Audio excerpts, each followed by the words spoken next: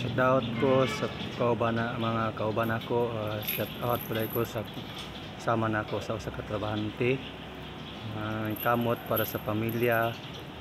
Yung mga dili na ko ikaw lang kung unsa akong trabaho. Kay please kuan man kanang sakto man nga pamaagi.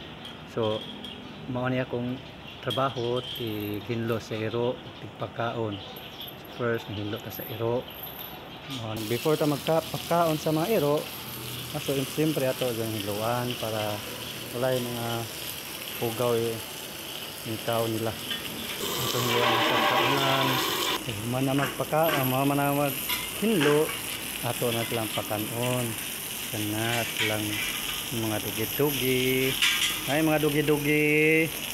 So time to eat na. Oh, time to eat na. Hmm.